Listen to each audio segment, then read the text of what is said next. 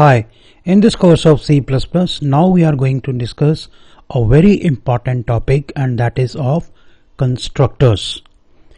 Constructors are special member methods of a class with the same name as the class name. When I say methods, that means we can have more than one constructors, but for the time being, I will be talking about one constructor in one class.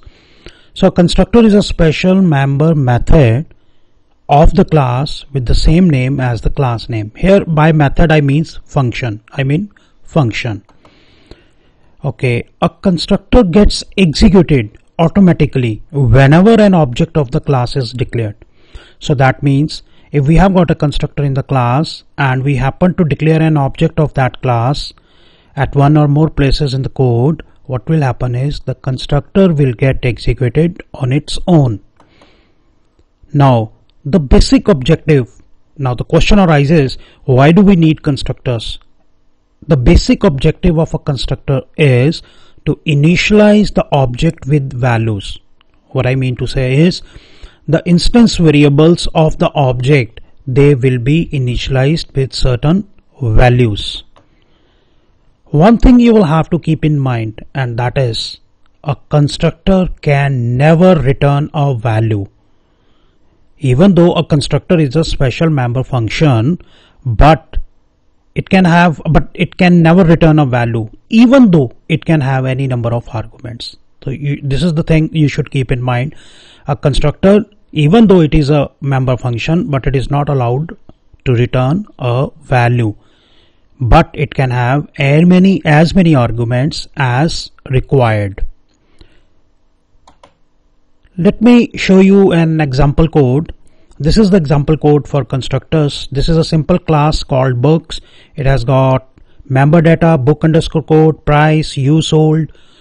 Uh, you sold stands for unit sold and uh, uh, this using public access specifiers. After that I have written this um, constructor uh, and this is called constructor with arguments. We'll be talking about with arguments, without arguments constructors after a short while from now uh, probably in the next lecture so uh, this is a constructor with arguments and uh, let me go to the function main and I would be able to explain it uh, in much easier manner see in method main in function main what I am doing is I am writing books bobj1 that means I am going to create I am going to declare instantiate an object of the books class. And see I am passing some values I am passing some arguments over here. So the arguments are 909 100 and 99 please ignore this 80 I have written it mistakenly. Uh, ignore this 80 because there are only three arguments 909 100 and 99 right. Now what will happen is because we are creating an object it will go to the constructor. This is the constructor as is evident because this method is this function is with the same name as the class name. Hence it is a constructor. So 909 value it will be automatically executed. 909 value will go into this formal parameter book underscore code 1 100 value will go into formal parameter price 1 and 99 value will go into this formal parameter you sold 1 please ignore this value 80 it was given mistakenly. So these values will be put into formal parameters these are the formal parameters of our constructor books which was executed automatically when we created this object. Now this formal parameter book underscore code 1 like in this example contains 909 what is our objective? To initialize the values of instance variables of our object bobj1 so what we are simply uh, supposed to do is to assign these values of formal parameters into respective instance variables. So this value of book underscore code one formal parameter, which was 909 in this case, that will be assigned to this formal parameter book underscore code.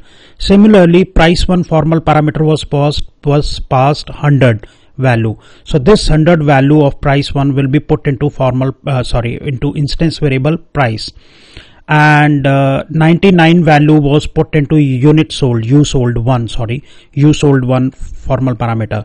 Here we are assigning this value 99 of you sold one into instance variable you sold so this is how this that is how this program is working. And we can do it for as many objects as we want. In the second case the, on the second statement of my function main what we are doing is we are creating an object bobj2 and we are passing value. The same thing will happen.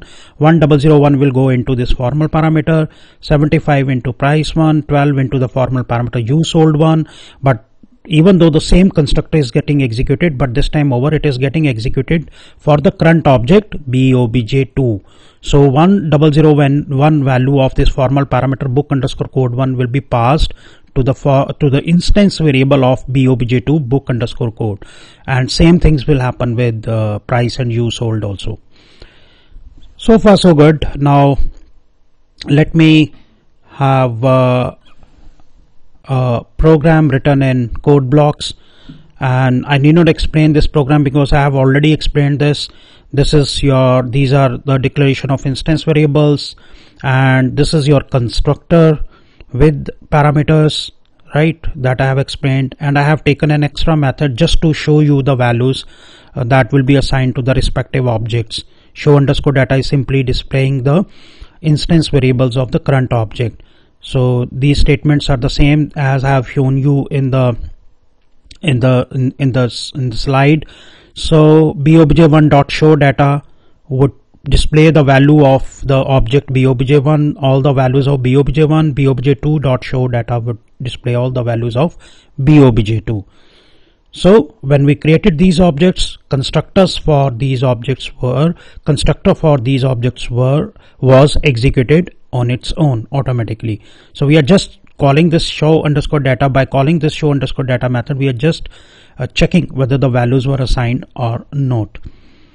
So uh, press F9 to execute this program.